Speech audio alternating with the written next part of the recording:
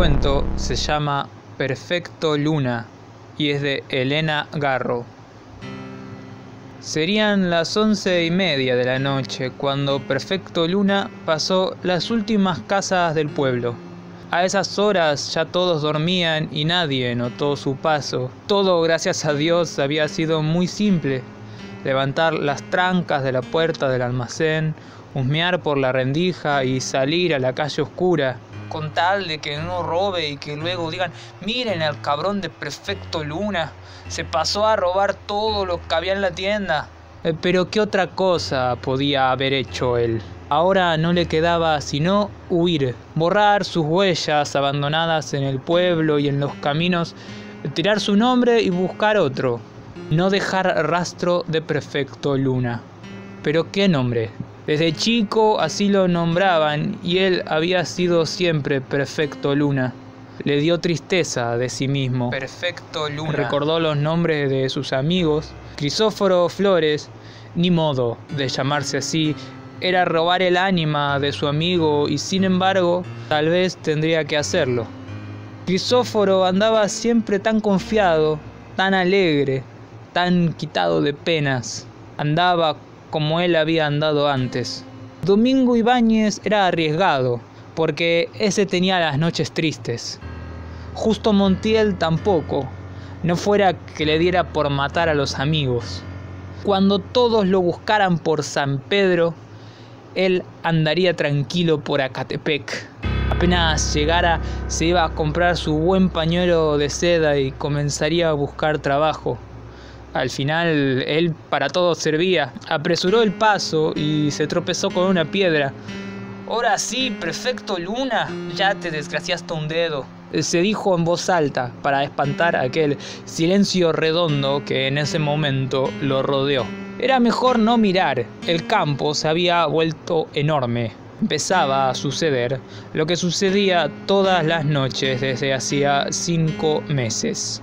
El silencio crecía de tal manera que era inútil tratar de decir cualquier palabra. Él acababa de decir, Ahora sí, prefecto Luna, ya te desgraciaste un dedo y no lo había dicho. Las palabras habían salido en silencio y se le habían quedado prendidas en la punta de la lengua. Tenía que irse lejos de Amate Redondo y lejos de Perfecto Luna porque era Perfecto Luna el que querían. Perfecto Luna. Seré Crisóforo Flores, no andaré por estos parajes y volveré a gozar con mis amigos. Adelante de él vio a un hombre que agachado buscaba algo. Estaba muy inclinado sobre el suelo, tratando de ver en la oscuridad, y a él le dio gusto encontrarse con alguien en aquellas soledades. Por cortesía, le dio las buenas noches. Buenas noches, contestó el desconocido sin abandonar su búsqueda. Busca algo, dijo Perfecto Luna amablemente, pensando que así lo diría Crisóforo Flores. Crisóforo Flores. Sí, contestó el desconocido, y no lo encuentro. ¿Puedo ayudarlo, señor? preguntó Perfecto Luna, sintiéndose cada vez más Crisóforo Flores. Si fuera tan amable, respondió el otro. Entonces Perfecto Luna se agachó a buscar aquel objeto perdido. De seguro era dinero, solo que el ladino no se lo quería decir por temor a que se lo robara. Él apenas veía entre las piedras y las sombras. Miró con curiosidad las piernas del desconocido, le parecía que llevaba guaraches y una tilma roja. Parecía moverse con dificultad, como si estuviera ciego. Tenteaba trabajosamente, agarrándose a las piedras y a las matas. Perfecto Luna se sentó en el suelo descorazonado. ¡Ay, señor! A mí me han pasado cosas. Continuó, olvidándose de ser Crisóforo Flores. Mire cómo me he quedado en los puros huesos. La confesión no conmovió al desconocido. ¿Sabe usted que yo fui perfecto luna hasta esta noche, señor? Gritó con optimismo, sintiéndose ya como en otro día. ¿Cree usted en los muertos? ¿En los muertos? Preguntó el otro, sorprendido. Sí, señor. Figúrese usted, yo fui perfecto luna Tuve que dejar de serlo por causa de un difunto. Ah, contestó el desconocido. Pasó usted por Amate Redondo. De seguro conoció a don Celso, el dueño del almacén. Yo le debo a él todo lo que fui. Él me enseñó a trabajar mientras yo fui perfecto luna. Con él me crié, porque fui huérfano de nacimiento. Ándale, perfecto. Ya sabes cuánto cuesta un cuartillo de maíz. Aquí lo marcas en la registradora porque solo don Celso tiene registradora en Amate Redondo. Es el único que lo ha trabajado, aunque digan que se roba los gramos en los kilos. Y así viví trabajando, hasta que don Celso quiso hacer la mentada vivienda. Perfecto Luna guardó silencio. Recordó que hasta ese día él había sido muy confiado lo que había pasado era que don Celso le encargó que demoliera las casuchas esas que estaban atrás del almacén para construir unas casas como las de México. ¿Cuánto tiempo habrá tardado en hacer aquel trabajo? Digamos un mes. A, cabo de ese mes, todo quedó racito y limpio. Hasta ese día él había sido alegre. ¿Qué le faltaba? Nada. Tenía buen trato y la estimación de sus amigos. Nadie le deseaba el mal. Fue un día 4 de abril cuando don Celso le dijo, abre las zanjas para echar los cimientos. Eh, como a las 12 del día, mientras ahondaba en la susodicha zanja, encontró al muerto. ¿Cree usted en los muertos? Era un muerto viejo porque no quedaban de él sino los puros huesos. Le pareció volver a verlo relumbrando al sol con los brazos puestos sobre las costillas. Habrá tenido de seguro una muerte mala, porque no tiene cabeza. ¿Quién lo mataría? ¿O dónde andará su cabeza? Fíjese, señor, le faltaba la cabeza. Seguro alguien lo degolló. El desconocido no dijo una palabra. Lo malo, señor, es que cuando yo fui perfecto luna, me gustaba ser maldoso.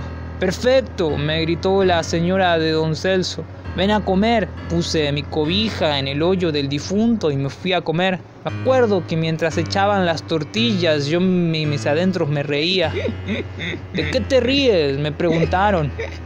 Solo yo lo sé y solo yo sabía.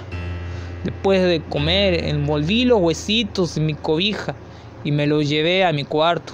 Vas a haber muerto cabrón, le dije.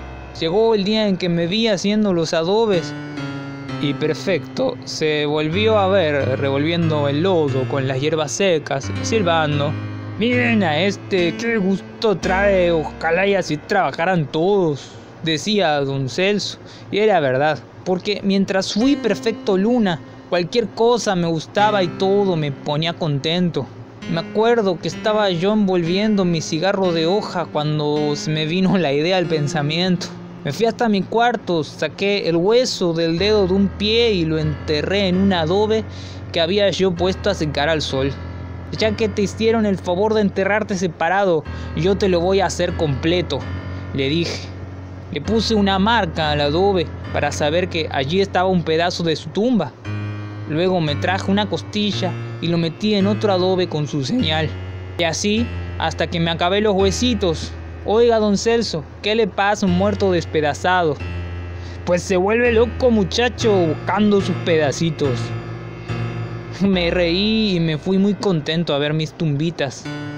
Lo que es ser muchacho y ser alegre, señor dijo Perfecto Luna, sentándose de nuevo en el suelo y buscando con los ojos a aquel otro que, indiferente, seguía por allí sin hacerle caso. Con tristeza, pensó que nadie le importaba que él, Perfecto Luna, hubiera sido alegre y que por causa de su alegría tuviera que dejar de ser él mismo.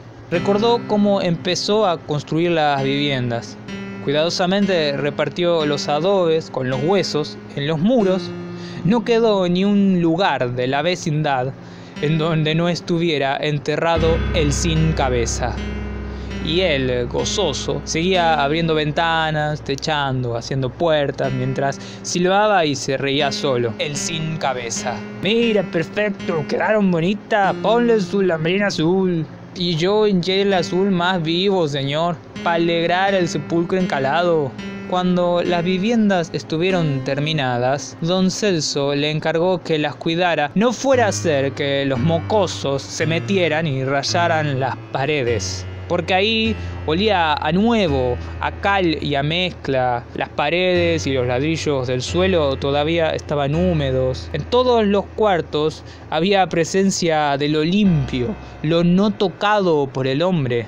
Perfecto Luna tomó sus camisas, su petate y su cobija y se instaló en uno de los cuartos. Estaba cansadísimo. Se tendió, miró regocijado su obra.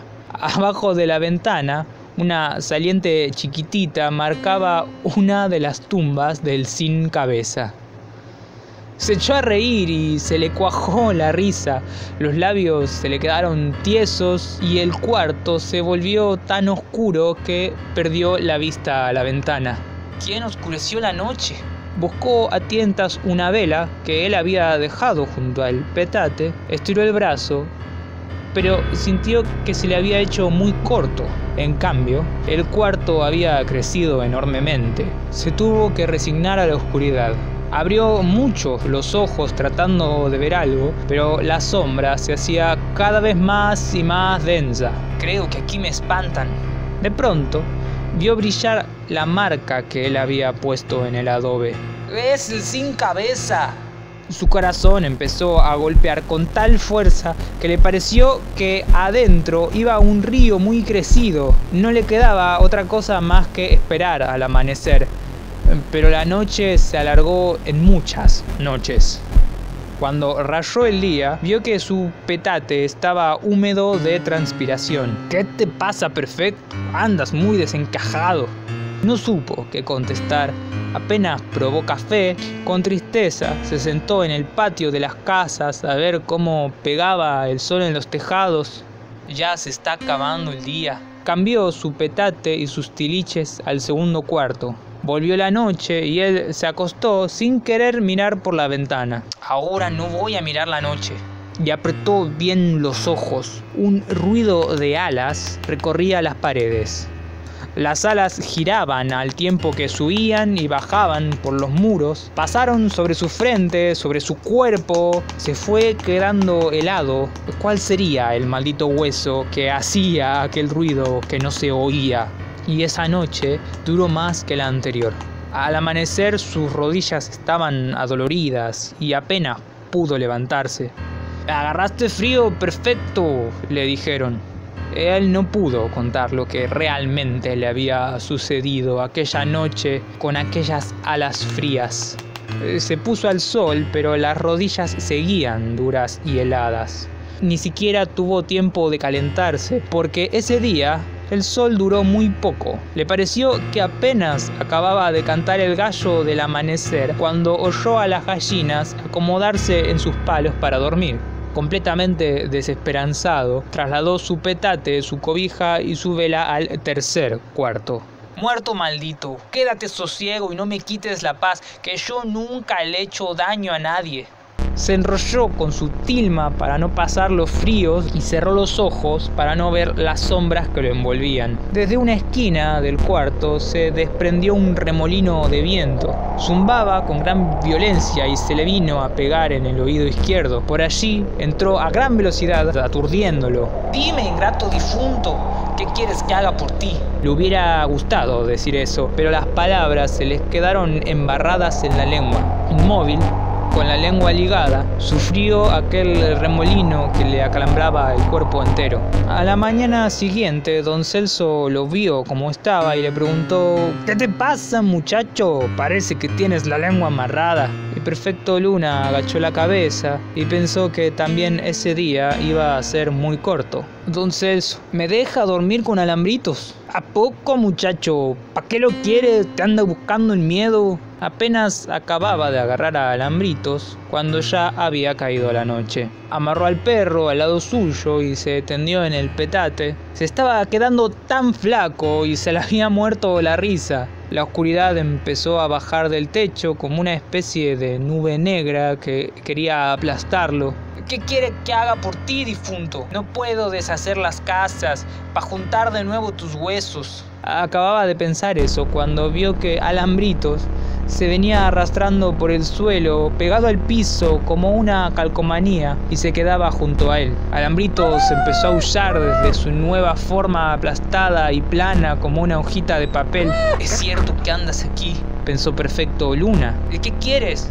Yo te lo doy para que te vayas. En ese momento la capa de sombras cayó sobre él como una cobija pesada y lo dejó sin pensamiento.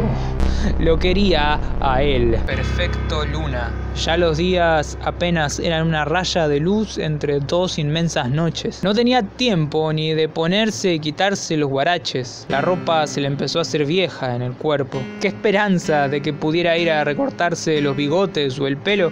Si apenas amanecía, ahí estaba ya la noche. No tenía tiempo ni de comer y se fue quedando en los puros huesos. Recorrió la fila de cuartos hasta que los acabó y en todos halló la presencia del difunto, que lo quería sacar de su pellejo. Así que me le fui, señor. Y me le fui no solamente de Amete Redondo, sino de Perfecto Luna, porque cuando lo busque ya no lo va a hallar. Ahora soy Crisóforo Flores, lo que es tener un poco de presencia de ánimo. ¿A poco no, señor?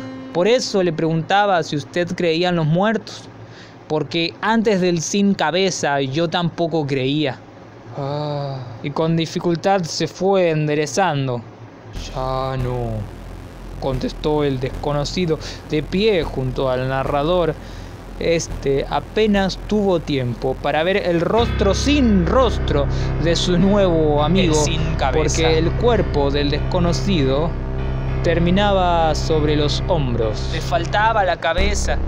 ¡San demonio! dijo don Celso al día siguiente. Me soltó todo el maíz y murió en medio de la huizachera, caray. Parecía tan buen muchacho el perfecto Luna. Perfecto Luna, de Elena Garro.